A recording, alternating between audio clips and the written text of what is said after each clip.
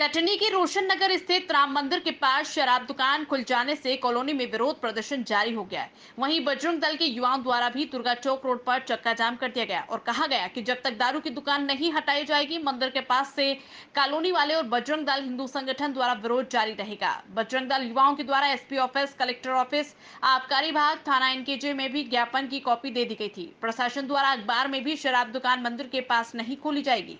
उसके बाद भी शराब के ठेकेदार द्वारा खोल दी गई। इसके विरोध में दुर्गा चौक रोड पर बजरंग दल युवाओं द्वारा चक्का जाम किया गया। अगर शराब दुकान नहीं हटाई जाएगी तो उग्र आंदोलन कॉलोनी वासी और बजरंग दल द्वारा किया जाएगा। इस विरोध में हज़ारों की संख्या में लोगों की उपस्थिति रही। सत्तर अस्सी मीटर पे एक दुकान ज़बरदस्ती खोल दी गई है। और वहाँ पे अपना एक एसकेपी मंदिर है। और वहाँ पे क्या एक प्रखंड अपना विश्व हिंदू परिषद का अस्थायी जिला कार्यालय है अपना। तो उसके एवज में अपन ने कई बार आवेदन दिया कि भाई साहब ये दुकान यहाँ से आगे बढ़ा लें।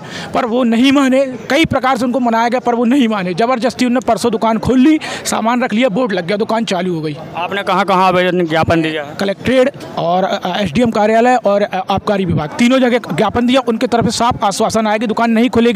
पेपर में भी पास आउट हुआ था पत्रिका में। कि दुकान नहीं खुलेगी उसके बाद भी खुलेगी दुकान। आपने अपने क्षेत्र में थाना प्रभारी को दिया है ज्ञापन। हाँ सबके पास शिकायत बराबर गई है।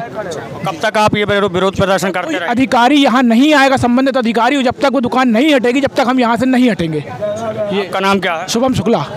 आपके संगठन से? विश्व हिंदू परिषद बजरंग दल।